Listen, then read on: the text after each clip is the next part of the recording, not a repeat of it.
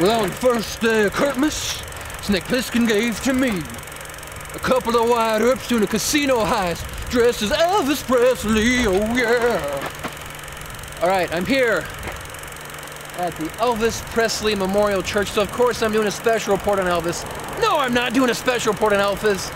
That porker's been dead for 40 years. He went from Rat Pack to Fat Pack. Don't get mad at me, Elvis fans. I'm, I'm not trying to rip him, I'm just quoting lines from a movie, okay? You know, I'm, not celebrating Elvis tonight. I'm celebrating a movie that celebrates a bunch of guys dressed up as Elvis, okay? As the director Demian Lichtenstein put it, all movies that get made deserve respect.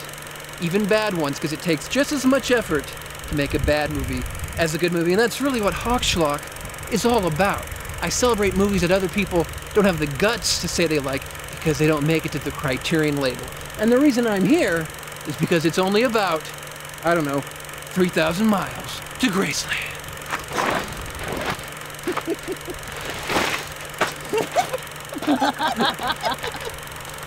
and that's how it's done, honey, here on HawkSchlock.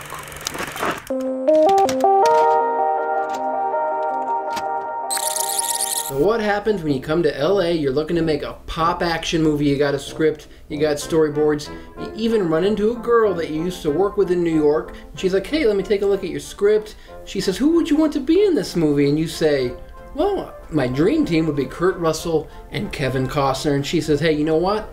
I need to read your script. Why don't you come and have dinner with me and my boyfriend? Now, if this was you, well, probably nothing would come out of this because let's face it, none of us were that lucky. But in this case, her boyfriend turns out to be Kevin Costner, and that's how we get on the road to 3,000 Miles to Graceland. And by the way, the director ended up paying back this girl with a associate producer's credit, a little role in the movie, and by the way, she was also Courteney Cox's double in the flick. No wonder Costner was dating her, am I right? And now we open up in the desert with some horrible horrible early 2000s CGI scorpions, and yet they're still better than those other 2001 CGI scorpions from The Mummy Returns. You know what I'm talking about with Dwayne, the CGI scorpion king of the ring, Rocky Johnson Maivia. Anyhow, uh, we end up making our way to a hole in the wall hotel, and Snake Earp himself Kurt Russell, he pulls up in his fire engine red Cadillac. He's out looking cooler than the other side of the pillow. Here, what was his first film in like three years, which is more or less an eternity in Hollywood, at least pre COVID. And a kid kicks Kurt the same way that he himself did as a kid to Elvis Presley in 1963's At the World's Fair. And Kurt runs into his mother, Courteney Cox. Yes, Monica herself is here, and you could tell she just didn't think life was going to be this way. Now, Monica herself makes sure to let Kurt know that her name is Sybil with a C, not Sybil with an S, and Kurt is just thinking, listen, Sybil, with or without a C, I'm thinking about giving you an O. And you can cut the sexual tension with an actual film cut to Courteney Cox's bed, shake, rattling, and rolling. And maybe this is how Starlord was created, I don't know. Somehow now her kid has snuck in, and that's totally not awkward at all. Anyhow, he's looking to steal Kurt's wallet as Kurt is looking to steal whatever innocence Monica herself has left. And now outside the hotel, another cool car pulls up, and we have the other 90s Wyatt Earp himself, Kevin Costner. He's backed up with a group of rock and roll goons. Now, Costner is eating up so much scenery in this role, I'm telling you, he probably had to go on Jenny Craig right after filming Wrapped.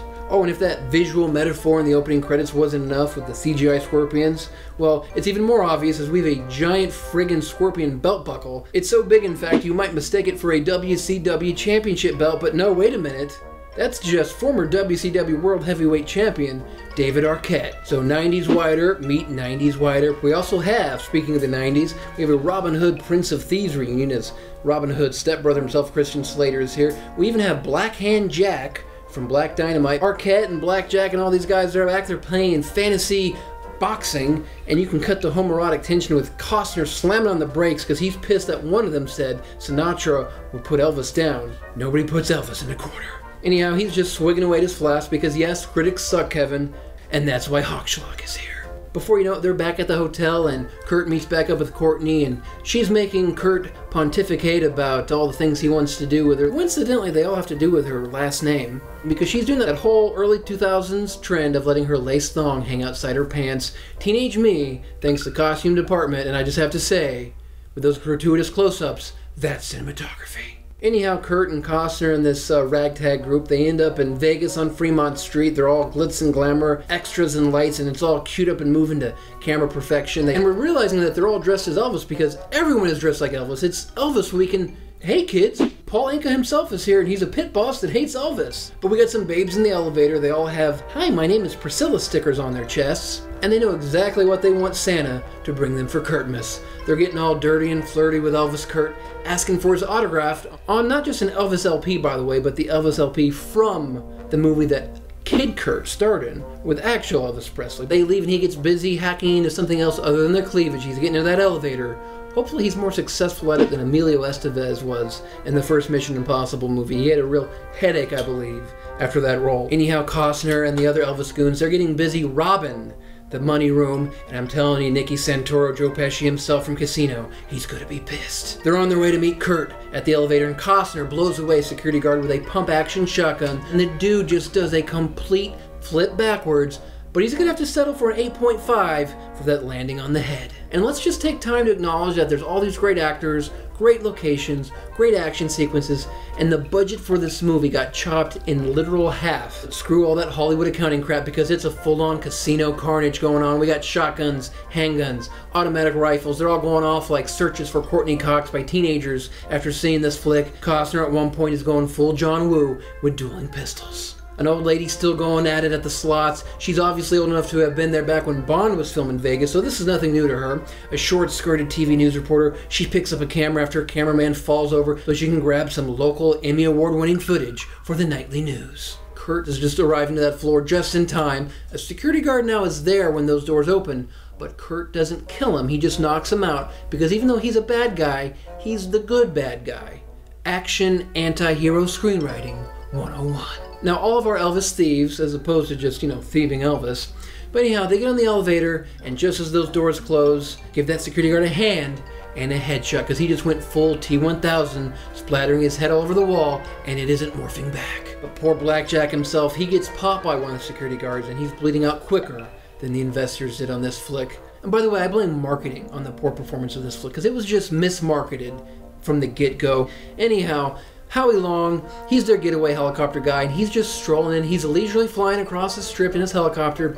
He's singing a cover of Paul Simon's 50 Ways to Leave Your Lover, which is kind of Kurt's theme song for his on again off again relationship with Monica herself in this flick. Now they make it back to the hotel to regroup and count the cash, and Costner, he's in there taking a leak, and he grabs a cigarette and lights it as he does so. Now this is one of those things that today's younger audiences, they just want to understand. It looks like magic to them. What I'm saying is they would never be able to grab their vape stick, hold their Johnson, and text whoever they are on Snapchat all at the same time. Anyhow, Costner and Christian Slater, they're having arguments. Slater's all, hey, let's do a little Fleetwood Mac, you go your way. Now, Christian Slater can talk hard, but this is 2001, not 1991. So Costner pumps down the volume with a silencer. They make jokes about peanut butter and fried banana sandwiches, Elvis's favorite, as they head off to drop the body. And then we hear and see some flashes of gunshots as Costner emerges only to drive his Cadillac right into a deer because he's graduated from drinking and driving to lighting a cigarette while driving. Now, texting and driving is bad, but smoking also kills. At this point, we think that all these main characters could be dead. What a bait and switch that would be. We cut to Kurt being laid out arms spread out like the Elvis rock and roll Jesus that he is. But like the man from Nazareth, he's back to life. Because he's wearing a bulletproof vest, Kurt's character is definitely a fan of Last Action Hero. Arquette doesn't seem to be so lucky, he still isn't moving, and I'm sure Courteney Cox is you know, almost sad. Now, she's certainly not sad to see Kurt again, not just because he's been her favorite lover these last 48 hours, but her son Jesse James Jr. has stolen that cash. Back in the deer ditch, Costner himself, he's waking up from his coma in the car, and he's like, wait, did I not use an accent in Robin Hood, but I used a really thick one in 13 days? You did, Kevin, and I love you for it. So back into the hotel room, Kurt and Jesse James Jr., they're going full Tarantino in the hotel. They're in a little standoff, Kurt with a real gun and Jesse James Jr. with a cap gun. It's no wonder Kurt's like, listen, bro, I'm gonna splatter some cherry pie in the wall, and it's not the type from Twin Peaks, it is not damn good. Now, Courteney Cox has called the cops, but she wants both Kurt and the cash. Say that five times fast. So they're gonna act like a happy little family and, and leave with a bag of books. Kurt's rocking a little cowboy hat to hide those Elvis good looks because they're all over the news now. They get in the car and the cops are somehow fooled by all this, even as Kurt makes an idiot of himself trying to back out of the driveway in Courteney Cox's car. Apparently Kurt can't drive stick, though we saw some scenes between him and Courteney Cox earlier that would argue that she can. Meanwhile, Costner, he's upped his drinking and driving to taking giant swigs from a bottle of Jack. Now, Sandman himself, Thomas Haden Church, and Kevin Pollak are here. Now, Pollak is here in what is probably his second greatest performance in a film largely set in Nevada. They're discussing if Costner himself could be one of Elvis's illegitimate children. Now, Elvis stole from black musicians, so you might as well have him have a son who steals from casinos, right? Anyhow, Costner pulls into a gas station. It was filmed at the El Dorado Canyon Mines, if you've ever visited there, or at least if you went there in uh, Fallout New Vegas. But here in the uh, celluloid version, the owner of this gas station, we're led to believe is some kind of perf scumbag, complete with a hot young thing who seems to be slightly forced to stay there. Costner eating up that scenery, he's like filled up pervo, and then he piles up on free beer for his drinking and driving binges. It's free because he decides to whack out the perv, and the young, obviously trapped girl, she's ready to be free and she wants to join Costner. Is he really dead, she asks. Some jumper cables might help, he deadpans back. And people say Costner has no sense of humor. Come on, have you seen Malibu Hot Summer? Anyhow, she wants a ride and she says, Listen, I don't smoke, but I do everything else like an OnlyFans account description in 2020. She might not smoke, but this gas station definitely does, as Costner, who's obviously watched the birds cue the box office bomb fireworks. You know, the same box office in 2001 that killed this flick loved The Fast and the Furious. Now that franchise is still going, it still has sequels being made, and you wonder why we're living in the Biff Tannen timeline. Over with good bad guy Kurt, he's having some father son bonding moment with young Jesse James Jr. They're talking about the size of women's boobs. My mom is jealous of that waitress because she has bigger boobs. This kid's psychiatric bills are gonna be through the roof in a few years. As that beat breast poetry goes on, Costner, well, he's graduated from drinking and driving to eating a big bucket of jerky and driving, getting pulled over by a cowboy sheriff. A cowboy sheriff, mind you, that has taught a ton of guys throughout the years how to whip in all sorts of movies, including The Mask of Zorro. Now, of course, Costner and him, they're going to quick draw here, have a little shootout because why not? That still makes more sense than anything that's happened in 2020. Well, kids, we have actual Jon Lovitz showing up. He is the money launderer here, which is hilarious to me because if I remember right, he plays the spoof of Joe Pesci in Loaded Weapon 1, actually laundering money in a laundromat. Now, Costner eating up scenery, he's here to keep things honest. He doesn't believe that Lovitz really has any hunting trophies, so Costner grabs a bow and arrow, which means Lovitz is here to live fast and die off screen. Sandman and Pollak, they have deduced that Costner must be headed to the Canadian border because otherwise it's 3,000 miles to Graceland. Yes, hence the title. We're all set up for our final showdown at a woodmill. Kurt shows up and it's time to go full Rio Bravo with a kid for the money. Cops show up as Costner realizes Kurt set this all up. I'm going back, Kurt says. Yeah, Costner retorts. You're going back. To the future, as he spins and blows Kurt up and over the railing to the wood dust below with a shotgun. Captain Ron, more like Captain Gone and now we have a war zone. Why is it the actors that are always kind of like main supporting or main actors, they never dress up in full riot gear in these scenes? All the cops are dressed up head to toe, yet you have Sandman and Pollak, and they're rocking like cowboy hats. Costner's helicopter pilot Howie, he just wasn't long for this world. And Costner, he's going full postal man on anyone and everyone he can get with his machine guns. Well, Ice-T had apparently been watching a lot of John Woo flicks because he's seen the zip lines and so Ice-T's like, hey, I'll one up that by tying one to my foot, hanging upside down, and go through spinning blindly, firing in the midst of hordes of cops. It's about as foolproof a plan as a dual eye patch Snake Plissken. It's not long before Ice-T is put on ice himself. Now, even Steven Seagal in Executive Decision is jealous of such a blaze of glory being featured in a Kurt Russell pick. So Costner, he's taking aim outside of a window with his saw. It's a type of heavy-duty automatic weapon, and he's going full T-800 in front of about 11 cameras, turning a bunch of cop cars into scrap metal. Now, unlike the T-800, he definitely won't be able to say that his death count total was 0.0 at the end of this one. Meanwhile, the kid, he's made it outside where he meets up with his mom, and we learn that Kurt is hurt, but he's actually still alive. He was rocking a bulletproof vest again. Screenwriting callback 101. It's down to just Costner inside. More laser sights are pointed at him than at a Pink Floyd show. Our soundtrack goes from Elvis doing my way to hard cutting to some heavy metal music because Costner, he's been in too many baseball flicks. He's going out swinging. He's also getting lit up like the reviews for Elvis's movie Kissing Cousins. Kurt is, uh, you know, he's reunited with the two things he wants to dive headfirst into the most. Monica's blouse and that bag full of money. Uh, cue the happy ending, which means cue the Uncle Kracker. I mean, they're just gonna date this movie quicker than a pair of JNCO jeans at this point. Cue the Schloskers. We got best use of stool Wyatt Earp sideburns for Kurt and Costner. Best use of abundant premeditated thong hanging out for Monica herself. In fact, let's just go for best use of man's reach exceeding his grasp for David Arquette somehow backing Courteney Cox. Best worst use of premeditated, abundant CGI scorpions for 2001. Suck it, Mummy Returns. Best time killing road games for Costner and his redhead. Best random end credits music video. Best way to let the spoils from the crime go to your head for Christian Slater. Best way to get to the heart of an issue by shooting an arrow through Jon Lovitz. Best use of a jelly sandwich for a tough guy for Ice T.